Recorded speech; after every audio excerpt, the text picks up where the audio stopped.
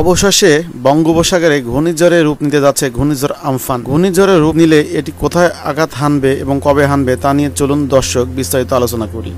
লঘুচাপ থেকে নিম্নচাপ, বঙ্গোপসাগরের সৃষ্টি হয় নিম্নচাপটি এখন গভীর নিম্নচাপে পরিণত হয়েছে। তেমন কিছু না হলে এটি আরও শক্তিশালী হয়ে আজ শনিবার রাতে ঘূর্ণিঝড়ে রূপ নিতে পারে। ঘূর্ণিঝড়ে রূপ নিলে এর নাম হবে আমফান, সে কথা তো আমাদের সকলেরই জানা। সাগর উত্তাল করে সম্ভাব্য এই ঘূর্ণিঝড় কোথায় আঘাত করবে এ ব্যাপারে এখনও নিশ্চিত হতে পারেনি আবহাওয়াবিদেরা। তবে তারা ধারণা করেছে যে এখন যেভাবে সাগর থেকে এগোচ্ছে এটি, তাতে ঘূর্ণিঝড়টি মঙ্গলবার রাতে বা বুধবারে ভারতের পশ্চিমবঙ্গ ঘেঁষে বাংলাদেশের দক্ষিণ অঞ্চলে সবল দিতে পারে। নিম্নচাপ থেকে ঘূর্ণিঝড় রূপ নিয়ে আমফান বেশ শক্তিশালী হয়ে উঠতে পারে, কারণ লঘুচাপে পরিণত হওয়ার পর এটি বেশ কয়েকদিন সময় পেয়ে নিম্নচাপে পরিণত হয়েছে। এরপর প্রায় দুই দিন সময় নিয়ে এটি নিম্নচাপে রূপ নেয়। গভীর নিম্নচাপে রূপ নিয়ে পশ্চিম ও উত্তর পশ্চিম দিকে এগিয়ে গেছে। আজ বিকালে গভীর নিম্নচাপটি দক্ষিণ পূর্ব ও দক্ষিণ পশ্চিম বঙ্গোপসাগরে অবস্থান করছিল। এ সময় এটি চট্টগ্রাম সমুদ্র বন্দর থেকে এক হাজার তিনশো পঞ্চান্ন কিলোমিটার দক্ষিণ ও দক্ষিণ পশ্চিমে কক্সবাজার থেকে এক হাজার দুইশো নব্বই কিলোমিটার দক্ষিণ ও দক্ষিণ পশ্চিমে মংলা সমুদ্র বন্দর থেকে এক হাজার দুইশো পঁচানব্বই কিলোমিটার দক্ষিণ ও দক্ষিণ পশ্চিমে এবং পায়রা সমুদ্র বন্দর থেকে এক হাজার দুইশো সত্তর কিলোমিটার দক্ষিণ ও দক্ষিণ পশ্চিমে অবস্থান করছিল। এটি আরও ঘনীভূত হয়ে উত্তর পশ্চিম দিকে অগ্রসর হতে পারে। গভীর নিম্নচাপ কেন্দ্রের আটচল্লিশ কিলোমিটারের মধ্যে বাতাসের একটানা সর্বোচ্চ গতিবেগ ঘন্টায় পঞ্চাশ কিলোমিটার, যা দমকা অথবা ঝোড়ো হাওয়া আকারে ঘন্টায় ষাট কিলোমিটার পর্যন্ত বৃদ্ধি পাচ্ছে। গভীর নিম্নচাপ কেন্দ্রের কাছে সাগর খুবই উত্তাল রয়েছে। এ কারণে মংলা, চট্টগ্রাম, পায়রা সমুদ্র বন্দর ও কক্সবাজার সমুদ্র সৈকত এলাকায় এক নম্বর দূরবর্তী সতর্ক সংকেত দেখিয়ে যেতে বলা হয়েছে আবহাওয়াবিদদের মাধ্যমে।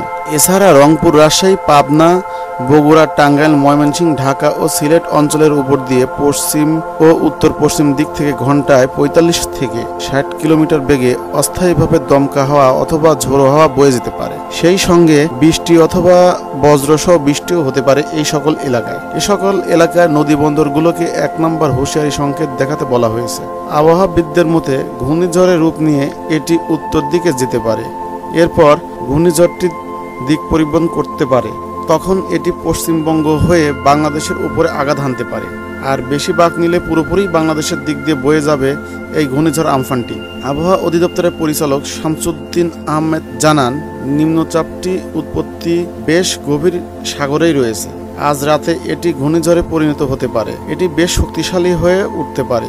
এদিকে ভারতের আবহাওয়া দপ্তরের তথ্য অনুযায়ী ঘূর্ণিঝড়টি ভয়ঙ্কর ঘূর্ণিঝড়ে পরিণত হয়ে আগামীকাল রোববার পরিণত হতে পারে। পরে এটি আরও শক্তিশালী হয়ে অতি ভয়ঙ্কর রূপ নেবে।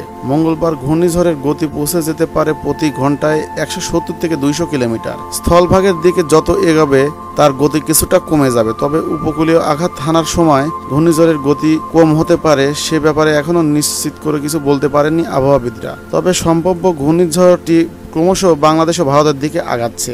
রাজশাহী, ফরিদপুর, পাবনা অঞ্চলের উপর দিয়ে মৃদু তাপপ্রবাহ বয়ে যা এটি অব্যাহত থাকতে পারে। আজ দেশের সর্বোচ্চ তাপমাত্রা ছিল সাঁত্রিশ দশমিক আট ডিগ্রি সেলসিয়াস। রাজধানী ঢাকারও ছিল পঁয়ত্রিশ ডিগ্রি সেলসিয়াস।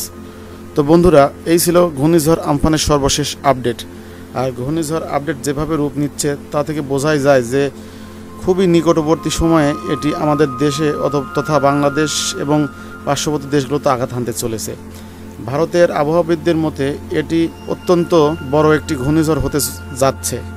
বা এটি যদি ঠিকভাবে তার গতিবেদ রেখে যদি আঘাত করে, তাহলে সেই রকমই একটি অবস্থা বিরাজমান করবে। পরিশেষে আমাদের চ্যানেলটি সাবস্ক্রাইব করবেন এবং বেল আইকনটি বাজিয়ে রাখবেন যাতে আমাদের সর্বশেষ আপডেট আপনারা পেয়ে যান। ধন্যবাদ।